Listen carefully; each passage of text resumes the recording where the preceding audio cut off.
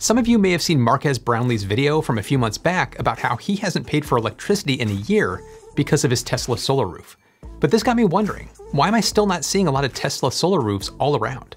I first hit on this issue a few years ago in a video, and since then, I've only seen one solar roof in my old neighborhood in Massachusetts. That's compared to dozens and dozens of homes with solar panels. I've also been asked a lot as to why I didn't get a solar roof on my brand new house. Well, I thought it might be interesting to compare my house to another house from here in New England that does have a solar roof. A friend of the channel, Paul Braren, invited me out to his house to check out his setup. Now, both his system and my system were installed last year, so I thought it'd be really interesting to compare the two, the reasons why we did what we did, the costs, and our initial thoughts. By the end, maybe we'll be able to figure out an answer to my question why aren't we seeing more solar shingle roofs? I'm Matt Ferrell. Welcome to Undecided.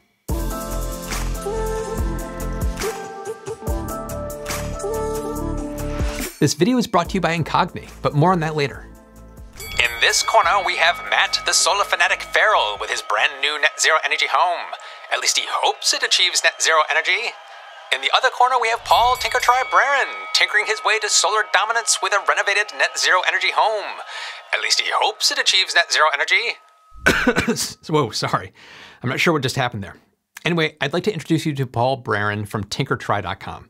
He had his 27.6 kilowatt Tesla solar roof installed in June of 2023, along with four Tesla Powerwalls, three Tesla inverters, one Tesla backup gateway, and one span panel.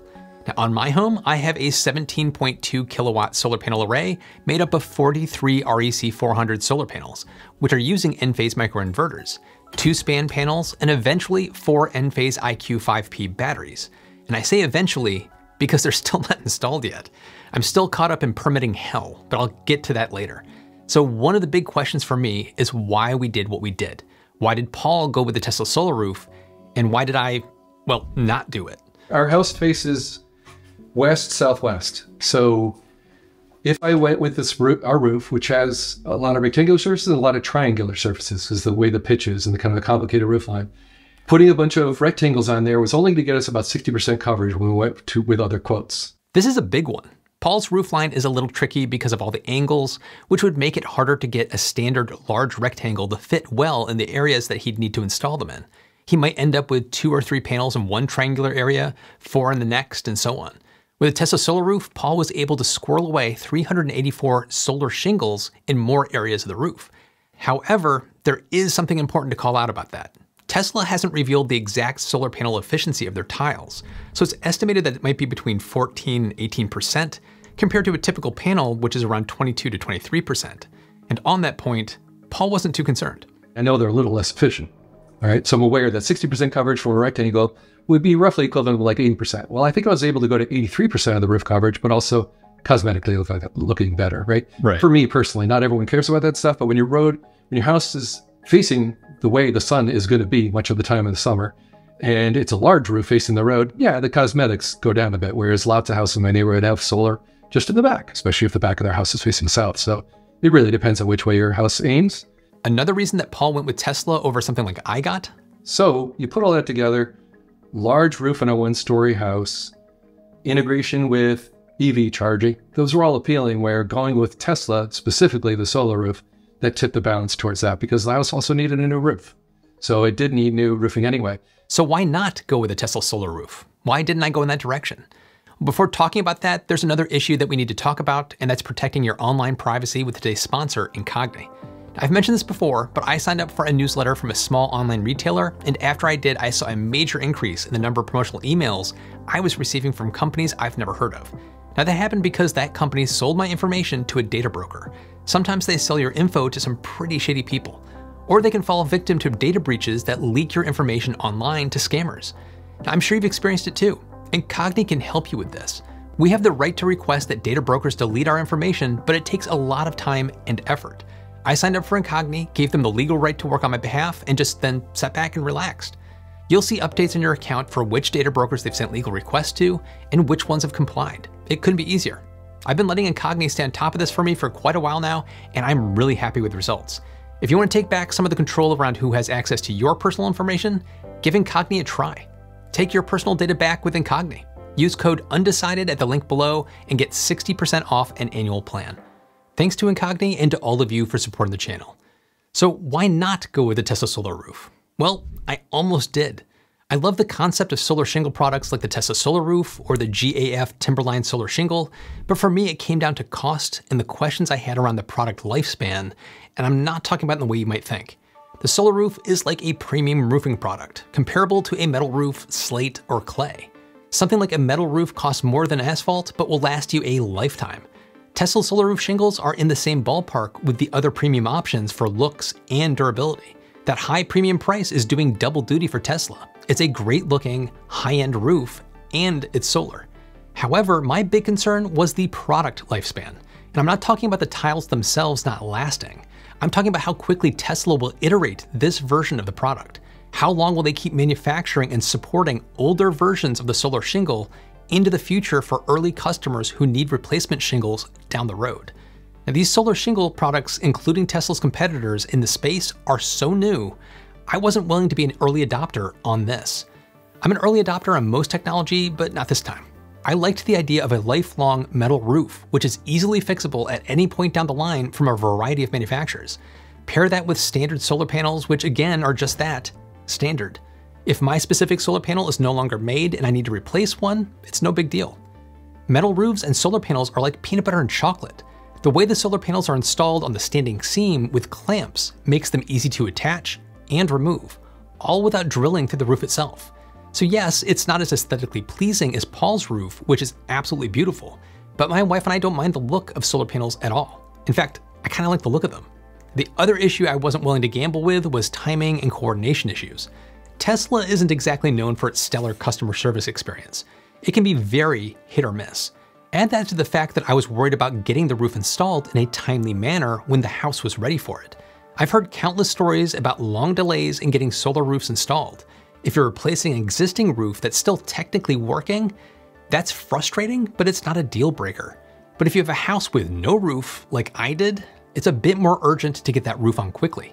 Now, I avoided that potential issue using a standard roofing product and adding solar on later. In Paul's case, he put down an initial deposit for a solar roof in June of 2022. He closed on his new house in September of 2022, and then it was installed in June of 2023. Even if you take out the initial deposit date, you're still talking about nine months between moving in and final installation. And speaking of installation experiences, what was Paul's like? Well, overall, it sounded pretty good. It seems Tesla was pretty responsive during the process, but there still were some hiccups along the way. Yeah, there were some handoffs that were maybe less than smooth. And we ended up with like five different electricians in that last week or so. Mm-hmm. Made it a little tricky for them to communicate with each other. And there were some mistakes actually in cabling. But they owned their mistakes. Cabling was too thin. Two people came back a month or two later when I was having charge and solar issues and communication errors on the app. They looked at it. They're like, yeah, we need to put a thicker gauge in for the communication wires because the distance in your house from your garage to the other side, we should have gone a little thicker. I appreciate that. I said, thank you for admitting what's wrong mm. and offering how quickly you're going to fix it within two days. Another issue that came up was that one of the two gateways stopped working and wasn't logging data. The solar panel system was working fine, but you couldn't see any data in the app. Annoying? Yes. Deal breaker? Absolutely not. Tesla replaced the gateway and everything is working great again. In my case, I've actually detailed some of the issues I had in my previous video on my solar panel system, but the short story is that I had difficulty coordinating with my solar installer in a timely fashion to make sure that my house's general contractor could pre-run conduits and cabling for the solar team. I wanted to try to limit the amount of conduit runs on the surface of the roof as much as I could and reduce intrusion points into the house. In the end, it all worked out, but it was a little frustrating during the process. The other big thing is permitting. Getting approvals from your town and utility to interconnect your solar to the grid can be slow to say the least. Prime example is that I'm still waiting for my battery system to get installed because of some very, very slow permitting approvals. And I know Paul has had the pleasure of enjoying some of these issues too. In both our cases, I think our recommendation to everyone would be to have some patience. Now, I know the big question that most of you are probably asking right now, but how much did it cost? This is where it gets a little tricky and interesting. Paul's Tesla solar roof and four Powerwalls cost $153,000, not including the incentives. I'll give you a second to pick yourself up off the floor. It's pricey, but let's break that down. The solar roof by itself cost $110,000, the four Powerwalls cost about $32,000, and there was another $11,000 that was necessary for some re-roofing. Now let's compare that to what I paid, or will have paid by the time the batteries are installed. My entire system will have cost $88,000. Of that, $55,000 is for solar and $33,000 is for batteries. However, that does not include the cost of my roof. Now, what I can tell you is that my roof did not cost $65,000, which is the price difference between our two systems. My roof was somewhere between $40 and $50,000, which means the total system cost with the roof is probably about $15,000 to $20,000 less.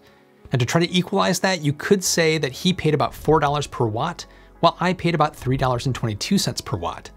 Now, as I mentioned before, it's a metal roof. An asphalt roof would have cost half as much, but wouldn't last nearly as long. Now, if I had an asphalt roof, there would be no contest between our total costs. My entire setup would have come out way ahead.